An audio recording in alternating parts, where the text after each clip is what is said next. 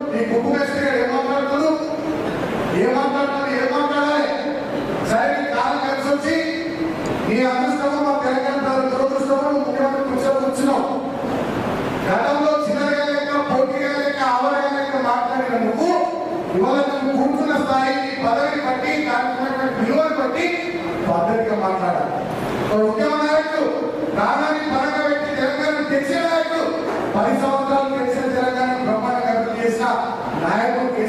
కట్టుకొని రండాన్ని మాట్లాడుతున్నాడు మీరు రండాలు హౌలింగ్ గారు భాగం గారు దేవ్ బాల గారు రేవంత్ రెడ్డి గారు ఈ చెడ్డ కొడుకులు ఈ చెడ్డ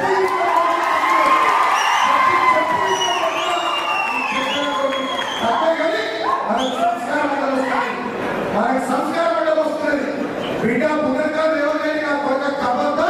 మా కేసీఆర్ అంటే ప్రభుత్వం లేకపోవచ్చు లక్ష